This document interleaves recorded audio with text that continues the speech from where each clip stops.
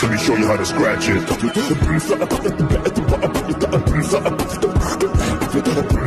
it.